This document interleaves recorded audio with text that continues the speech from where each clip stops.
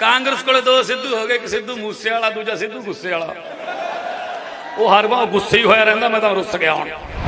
ਆਮ ਲੋਕ ਗਰੀਬ ਹੋਈ ਜਾਂਦੇ ਆ, ਲੀਡਰ ਅਮੀਰ ਹੋਈ ਜਾਂਦੇ ਆ। ਲੀਡਰ ਮੌਜਾਂ ਕਰਨ, ਲੋਕ ਭੁੱਖੇ ਮਰਨ, ਇਹ ਜ਼ਿਆਦਾ ਚਿਰ ਨਹੀਂ ਚੱਲਦਾ ਹੁੰਦਾ। ਇੱਕ ਵਾਰੀ ਆ ਝਾੜੂ ਫੇਰ ਦਿਓ। 2022 ਵਾਲੀ ਫਰਵਰੀ ਵਾਲੀਆਂ ਵੋਟਾਂ 'ਚ ਸਫ਼ਾਈ ਕਰ ਦਿਓ। ਇਸੇ ਧਰਤੀ ਤੇ ਭੰਗੜੇ ਪੈਂਦੇ ਮੈਂ ਦਿਖਾਉਂਦਾ। ਇਹ ਕਿਤੇ ਮਹਿੰਗੀਆਂ ਘੜੀਆਂ ਬੰਨਣ ਦਾ ਟਾਈਮ ਨਹੀਂ ਬਦਲਦਾ।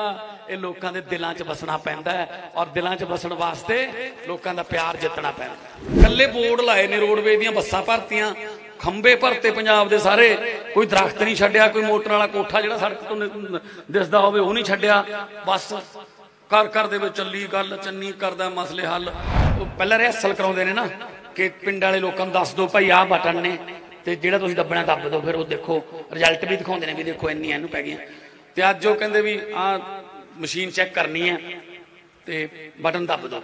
ਪਹਿਲਾ ਆਇਆ, ਉਹਨੇ ਝਾੜੂ ਦੱਬਤਾ ਦੂਜਾ ਆਇਆ, ਉਹਨੇ ਵੀ ਝਾੜੂ ਦੱਬਤਾ ਤੀਜੇ ਨੇ 10 15 ਨੇ ਜਦੋਂ ਝਾੜੂ ਦੱਬਤਾ ਤਾਂ ਉਹਨਾਂ ਦਾ ਅਫਸਰ ਕਹਿੰਦਾ ਵੀ ਇਹ ਤਾਂ ਇਹ ਕਿਹੜਾ ਅਸਲੀ ਵੋਟਾਂ ਨੇ? ਇਹ ਤਾਂ ਉਹੀ ਦੇਖਦੇ ਆ ਵੀ ਕਿਸੇ ਹੋਰ ਹੋਰ ਬਟਨ ਨੂੰ ਵੀ ਚੈੱਕ ਕਰ ਲਓ। ਉਹ ਲੋਕ ਕਹਿੰਦੇ, ਭਾਵੇਂ ਨਕਲੀ ਨੇ, ਨਕਲੀ 'ਚ ਵੀ ਕੋਈ ਹੋਰ ਬਟਨ ਦੱਬਣ ਨੂੰ ਜੀ ਨਹੀਂ ਕਰਦਾ ਕਹਿੰਦਾ ਤੇ ਦੂਜੇ ਪਾਸੇ ਕਾਲੀਆਂ ਤੇ ਕਾਂਗਰਸੀਆਂ ਵਾਲੇ ਲੀਡਰ ਹੈ ਉਹਨਾਂ ਨਾਲ ਇੱਕ ਵਾਰੀ ਹੱਥ ਮਿਲਾ ਕੇ ਬਾਅਦ ਚ ਉਂਗਲੀਆਂ ਗਣਨੀਆਂ ਪੈਂਦੀਆਂ ਨੇ, ਪੂਰੀਆਂ ਨੇ ਜੇ ਲੈ ਗਏ ਕਦੀ ਇੰਨਾ ਯਕੀਨ ਰਹਿ ਗਿਆ ਉਹਨਾਂ ਤੋਂ। ਹਰਸਿਮਰਤ ਕੌਰ ਬਾਦਲ ਕਹਿ ਰਹੀ ਸੀ, ਜਿਹੜੀ ਆ ਤੱਕੜੀ ਹੈ ਸਾਡੀ, ਇਹ ਬਾਬੇ ਨਾਨਕ ਦੀ ਤੱਕੜੀ ਤੋਂ ਵਧੀਆ। ਬਾਬੇ ਨਾਨਕ ਦੀ ਤੱਕੜੀ ਨਾਲ ਮਿਲਾਉਣਾ ਤੁਸੀਂ।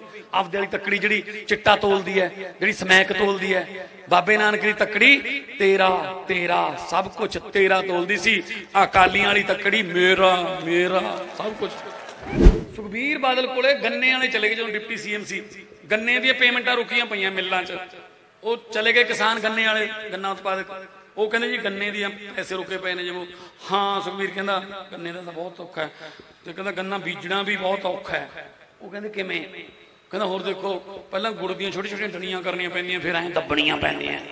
ਉਹ ਉਦੋਂ ਹੀ ਮੁੜਿਆ ਕਹਿੰਦੇ ਰਹਿਣ ਦੇ ਮੁਆਵਜ਼ਾ ਪਹਿਲਾਂ ਦੰਦ ਸੋ ਮੈਂ ਤਾਂ ਇਹੀ ਗੱਲ ਕਹਿੰਦਾ ਉਹਨਾਂ ਜਿੱਥੇ ਵੀ ਜਾਣਾ ਸੱਚ ਬੋਲਣ ਦਾ ਇੱਕੋ ਹੀ ਫਾਇਦਾ ਹੈ ਕਿ ਉਹਨੂੰ ਇੱਕ ਵਾਰੀ ਬੋਲ ਕੇ ਦੁਬਾਰਾ ਯਾਦ ਨਹੀਂ ਰੱਖਣਾ ਪੈਂਦਾ ਜਿੱਥੇ ਬੋਲੋਗੇ, ਸੱਚ ਹੀ ਬੋਲੋਗੇ।